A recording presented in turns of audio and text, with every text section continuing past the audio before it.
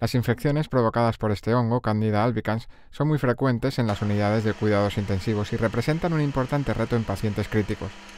Hoy en día, el diagnóstico de dichas infecciones oscila entre los 3 o 4 días. Con este diminuto film, la detección es mucho más rápida. En nuestro caso, el sistema con unos 30 minutos ya tienes una, una distinción de si realmente tienes ese hongo o no.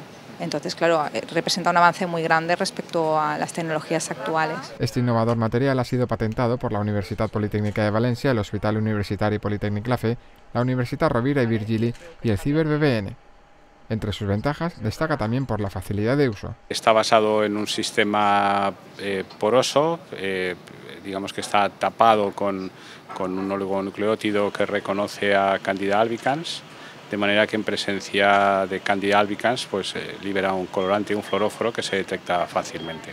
El material se encuentra ahora en fase de validación clínica gracias a la financiación conseguida mediante el proyecto Candidate concedido por la Universidad Politécnica de Valencia y el Instituto de Investigación Sanitaria La Fe.